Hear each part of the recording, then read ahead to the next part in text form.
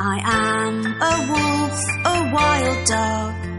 I'm often in the woods on a jog. I live in a group called a pack. Our paw prints are easy to track.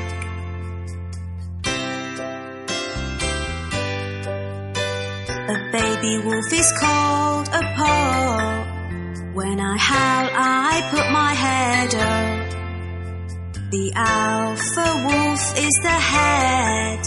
On his paws, you do not tread.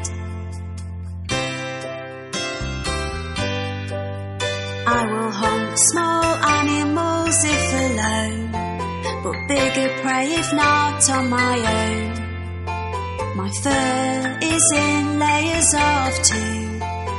This stops the cold getting through.